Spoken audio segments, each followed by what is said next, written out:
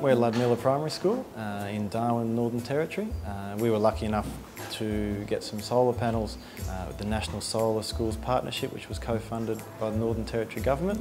I think we've got 20 panels. It's clean energy and it doesn't produce greenhouse gases.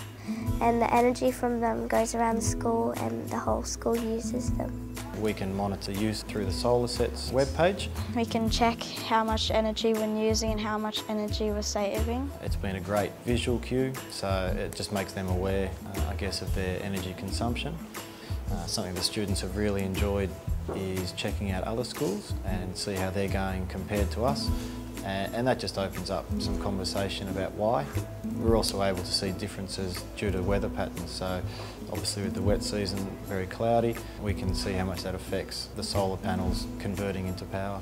In class we've been able to link uh, the solar panels to some sustainability lessons and we've used uh, K'NEX systems with solar panels for the kids where they've been able to, to make different models and use the solar panel to have them move. The solar panel you know, converting into power straight away uh, yeah, and make the connection to the solar panels and, and putting the power back into the grid.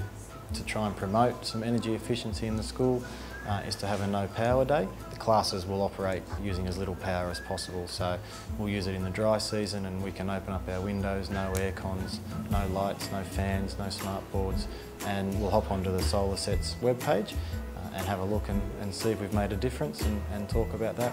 The school also uh, started recycling. We've got a trailer located near where the students eat at recess and lunch. So we put our cans and um, plastic bottles in there and poppers and stuff. The kids take a lot of this stuff home, you know, so we're saving the environment and the hip pocket as well. So the extra money the school saves we spend elsewhere uh, and the families at home can do the same thing.